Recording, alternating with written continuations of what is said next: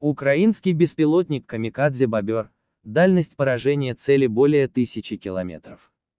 Бла-бобер похож на самолет с небольшой передней частью основного крыла, который медленно летит, но имеет большую дальность полета. По предварительной информации дальность полета БЛА составляет 1000 километров. Он стоит около 4 миллионов гривен. Дрон построен по аэродинамической схеме утка, что обеспечивает эффективность изменения высоты для прохождения зон ПВО или смены цели без потерь подъемной силы. Специалисты отмечают, что беспилотники «Бобер» лучше использовать в большом количестве, чтобы им проще было преодолевать ПВО и средства радиоэлектронной борьбы противника. Предварительные технические характеристики данные не проверены.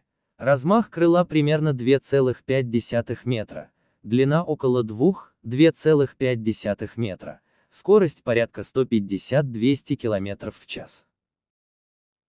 Можно предположить, что его вес около 150 кг, боевая часть может быть 20 кг.